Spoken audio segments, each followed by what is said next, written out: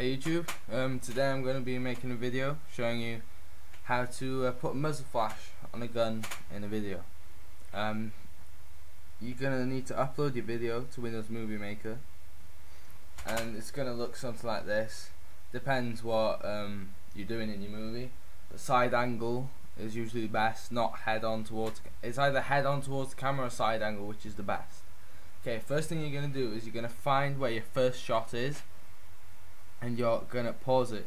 You can go frame by frame uh, using these buttons. Then you're to go to edit split. Then you're going to go to snapshot. Take the picture and save that as shot one. And then you're going to want to save it and take it to your editing uh, software.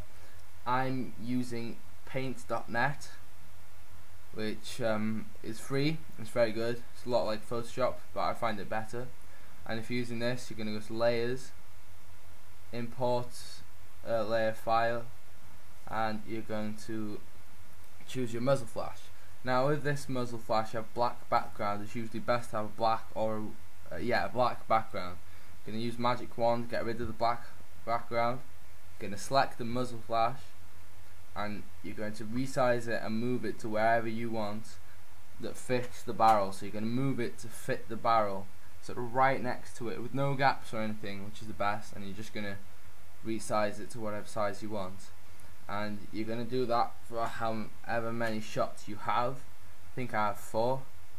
And uh, I'm going to pause this and uh, just save it. And what you're going to do you're going to save it. Make sure you save it as a JPEG or you won't be able to use it in Windows Movie Maker and it'll ask you to flatten it which basically puts both pictures into one which is what you want. And you're gonna go back to Movie Maker find your picture with the muzzle flash. You're gonna insert it in between the two videos that you've split. Go to edit go to time on screen or whatever it's called and go to put it as 0.05 and you want to test it and see what it looks like. If it looks if you just see it for a split second um, if you can't see it 0.05 you can usually see it. But while editing it might not show up. So afterwards you want to do that on every shot like I've done here. And what you're going to want afterwards is sound effects to make it sound realistic. And what I've done is I've got my iPod touch and bought the iGun and it's got a range of guns that you can use. And uh, what you're to do you're to go onto iGun you're to choose whichever gun you want. I'm using AK-47 which uh, gives the best sound. Hold on I'll just no thanks. Um, AK-47 and now i have got a double-sided jack I think it's three and a half millimeter.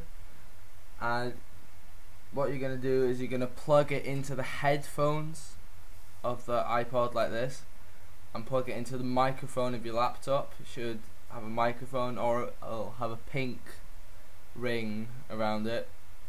And then what you're gonna do is you're gonna go to Audacity which you could download for free off Google. Just search it in Google and put Audacity and record the gunshot.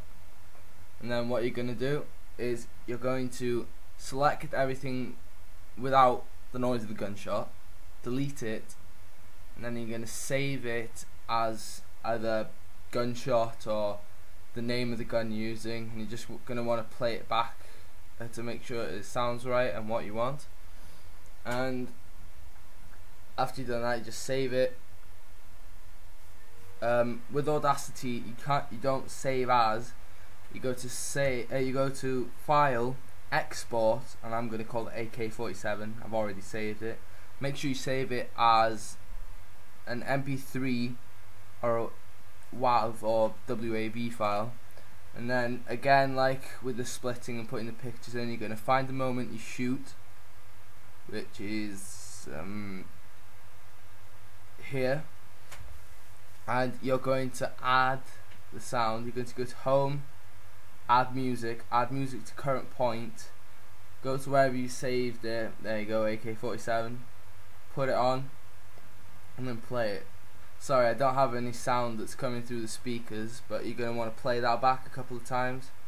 Uh, make sure it sounds alright. And um, there you go I've added all of them on now. And um, just need to listen to them all make sure they sound alright and here's the finished product uh, the example of uh, what you're gonna have